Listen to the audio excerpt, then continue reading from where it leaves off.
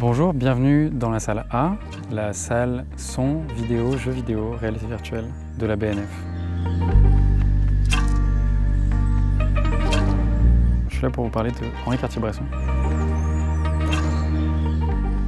S'il était connu pour son travail photographique, il était aussi passionné de cinéma. Il a d'abord découvert ça avec un réalisateur expérimental et photographe américain qui s'appelle Paul Strand, qui a fait un très beau premier film qui s'appelle Manhattan où il explore la géométrie et la géographie de la ville de New York, basé sur ses photographies, ses propres photographies, notamment la très célèbre Wall Street, qui utilise des formes abstraites pour explorer l'âme américaine. Paul Strand aura une grande influence sur Cartier-Bresson et produira même ses premiers films. Mais d'abord, il veut apprendre le cinéma. Il va donc se rapprocher de Jean Renoir, qu'il admire, à qui il envoie un album de ses photographies et qui l'impressionne. Jean Renoir l'embauchera comme second assistant réalisateur sur différents films. D'abord La vie est à nous, puis Partie de campagne et enfin La règle du jeu. Cartier-Bresson y apparaît même dans des rôles plutôt comiques et caricaturaux pour le jeune militant communiste qu'il est à l'époque, à savoir en noble qui s'entraîne à tirer sur des prolétaires et en curé.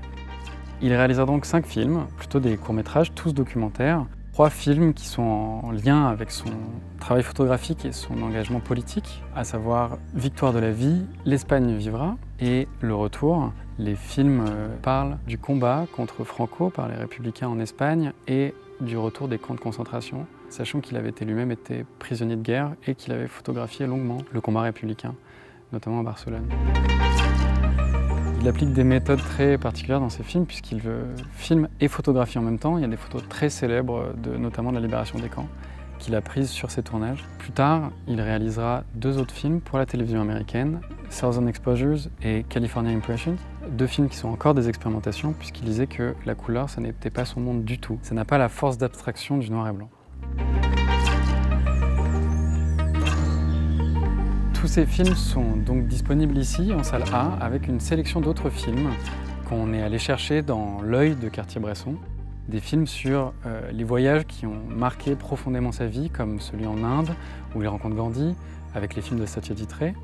Le documentaire qui était très important pour lui, avec notamment par exemple le cinéma de Patricio Guzman, qui et aussi proche de quelque chose d'aussi très important pour lui, à savoir sa haine de la société de consommation, et aussi l'exploration de la frontière entre la curiosité et l'indiscrétion avec des films comme Peeping Tom de Michael Powell ou euh, Blow Up et Blow Out de Antonioni et de Palma.